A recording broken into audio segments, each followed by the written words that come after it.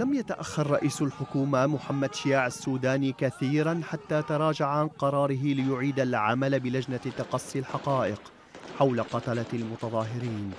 بعد مقتل ثلاثة متظاهرين وإصابة العشرات في ذي قار والذي دشن عهدا دمويا جديدا لحكومته لا يختلف عن سابقاتها.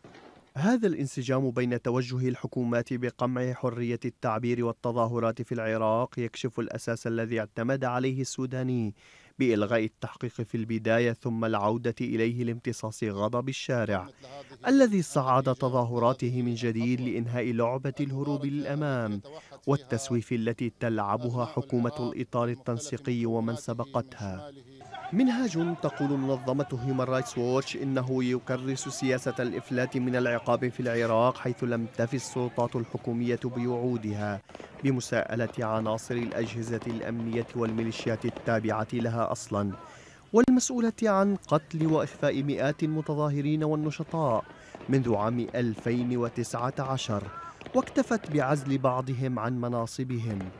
ويشير الميثاق الوطني العراقي إلى أن عزل هؤلاء الضباط والقادة الأمنيين هو بمثابة تكريم لهم وليس عقاب. فهو تمهيد بحسب الميثاق لتعيينهم بمناصب أخرى بعد فترة مؤكدا أن السودانية وحكومة الإطار التنسيقي هي من أمرت بإطلاق النار على المتظاهرين وفق نية مبيتة. اتهامات يؤكدها اعتقال السلطات لنحو عشرين من رجال الأعمال في محافظة ذي قار بتهمة التحريض على التظاهرات في الناصرية.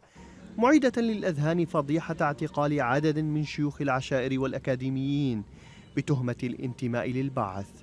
بعضهم توفي بعد أيام من الخروج من الاعتقال نتيجة التعذيب. اعتقالات حولت القضاء بحسب هيومان رايتس ووتش إلى أداة لقمع أي انتقاد سلمي. بينما يفلت عشرات المسؤولين وقادة وعناصر الميليشيات من العقاب رغم قتلهم النشطاء والمتظاهرين في انعكاس مؤسف ودموي لضياع سيادة القانون في العراق.